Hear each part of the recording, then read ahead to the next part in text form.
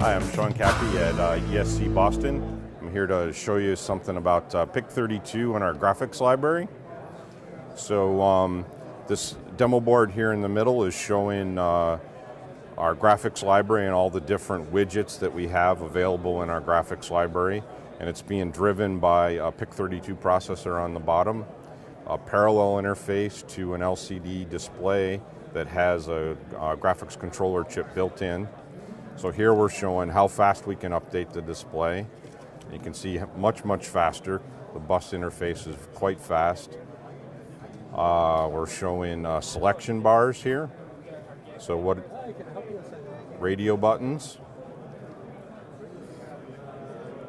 a little uh, keypad application, looks like a phone, some uh, metering application. We can change how the uh, meter moves, and this might be linked to uh, the speed of your motor in your application.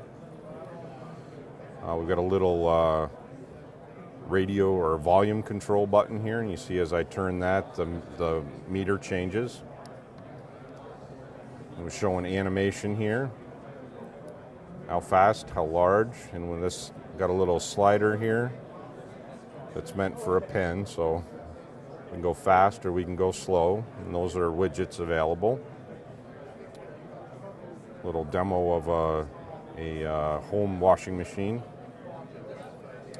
signature capture and you can see how fast I can draw and update on the screen. It's quite fast.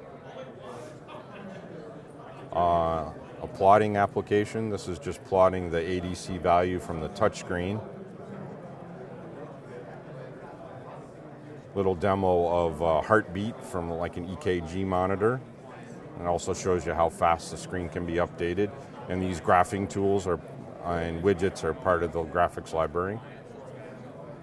So buttons, and the buttons can change as you push them. Pictures can change. Another shot at some radio buttons. And that's about it. All that's available in our microchip application library, uh, downloaded from the website, and it's all available as source code to uh, uh, download into your device.